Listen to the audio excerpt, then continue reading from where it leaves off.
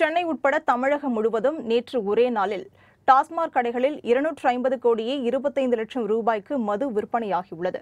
Corona virus தொற்று காரணமாக தமிழகத்தில் டாஸ்மாக் கடைகள் கட்டுப்பாடுகளுடன் திறக்கப்பட்டு மது விற்பனை செய்யப்பட்டு வருகிறது.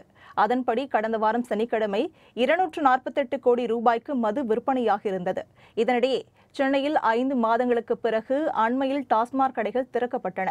இந்த நிலையில் சென்னையில் டாஸ்மாக் கடைகள் திறக்கப்பட்டதில் இருந்து ஊரடங்கு காலத்தில் இருநூற்றி ஐம்பது கோடி ரூபாய்க்கு மேல் மது விற்பனையாகியுள்ளது.